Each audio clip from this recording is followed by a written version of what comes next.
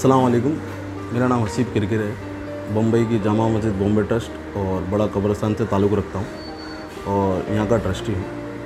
आज आपके सामने रूबरू होने के और यहाँ हमारे दूसरे बोर्ड के मेंबर जमा होने का एक ही रीज़न है कि एक इंपॉर्टेंट गाइडलाइंस जो कोविड पेशेंट के ताल्लुक से आपके सामने रखना चाहते हैं। पहला तो ये, अगर अल्लाह ना करे ऐसा कोई कोविड पेशेंट से इंतकाल हो रहा है तो सबसे पहले आप डेथ सर्टिफिकेट हॉस्पिटल से ले लें। दूसरा लोकल पुलिस स्टेशन से एनओसी तीसरा बीएमसी पास। और इन फ्यूचर अगर मुस्लिम कम्युनिटी में किसी का इंतकाल हो जा रहा है तो गाइडलाइंस कम्प्लीटली फॉलो करें। जैसे कि चार ही आदमी वो घर के साथ में आएँगे और उनको कंप्लीट ड्रेस कोड है।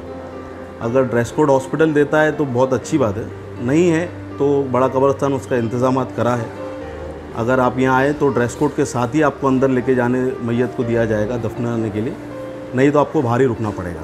से ये रिक्वेस्ट है, सभी से, बॉम्बे पुलिस और यहाँ के बीएमसी और जो भी वॉल्टियर्स है पुलिस के, उनकी बातों का खास दौर, खास ध्यान दे, बेफजूल बाहर ना निकले। और नौजवान यंगस्टर्स लोग को ज़्यादा करके रिक्वेस्ट है कि बाइकों पे ना घूमें, पुलिस को भी तकलीफ़ ना दे। अगर पुलिस कोई एक्शन लेती है तो आप नाराज़गी दिखाते हो। उससे बेहतर ये है कि आपकी बेहतरी के लिए पुलिस बोल रही है। कि आप अपने घरों में रहो घर में रहोगे तो महफूज रहोगे आपका शहर महफूज रहेगा और ये हिंदुस्तान महफूज रहेगा।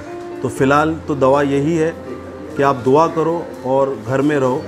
और जैसे कि शब बारात मुसलमानों की बड़ी रात आ रही है, लोग मुसलमान बड़े कब्रस्तान में या हर उनके मोहल्ले, लोकल मोहल्ले के कब्रस्तान में जाते हैं। तो आप लोगों से रिक्वेस्ट है बड़े कब्रस्तान जमा मस्जिद से कि कब्रस्तान के दरवाज़े बंद है।